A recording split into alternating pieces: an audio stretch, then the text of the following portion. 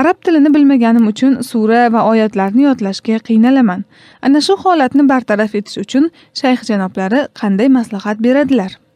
Avvalo maslahatdan oldin aytmoqchimanki qur'oni karim oyatlarini va suralarini yodlash uchun urinib qiynalish huzur halovatdir baxti saodatdir agar oyat karimani yodlash uchun qiylanilayotgan bo'lsa surai karimani yodlash uchun qiylanilayotgan bo'lsa allohning kalomi yo'lida qiynalinayotgan bo'ladi.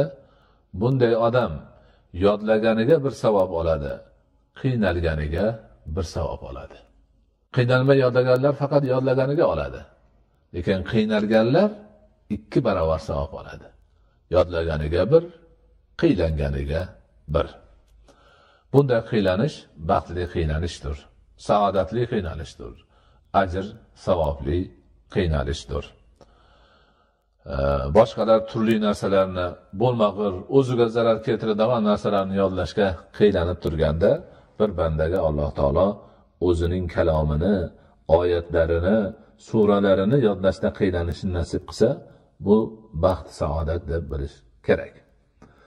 Endi savob ajr boshqalardan keyin shu ko'proq yodlash ma'nosini bo'ladigan bo'lsa oyat va suralarni yodlashni osonlashtirish uchun taqvo qilish kerak imom shofiyni mashhur baytlari bor شكوت لوكيع سوء حفظي فأوصاني بترك المعاصي deydilar imomi shofiy rahmatullohi alayhni vaki degan ustozlari bo'lgan Imomi shofiy borib ustozlariga bu savol berayotgan azizimiz e, singari shikoyat qilgan ekanlar.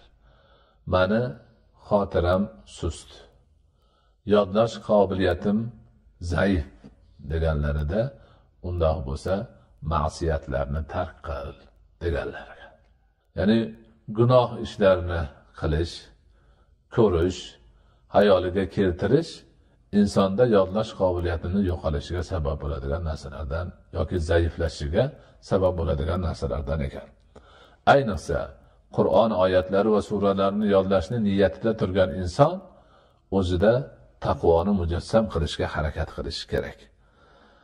Ana o'sha taqvo mujassam bo'lsa xotiri jam bo'lib yaxshi bir ehtimom bilan harakat qilsa inshaalloh oyat va suralarni yodlash yengil bir holatga o'tadi. Undan keyin har bir inson o'zining tuzilishi qobiliyati jumladan yodlash qobiliyatini hisobga ham olishi kerak. Hamma bir xil bo'lavermaydi alloh taoloni berishi har xil. Ana shuni e'tiborga olib o'zi qaysi holatda yaxshi yodlayapti?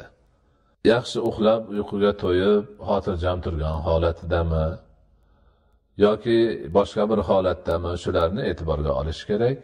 Va ko'proq sahar paytida yodlansa ana shu vaqtda juda ham yaxshi bir sermahsul yodlash bo'ladi.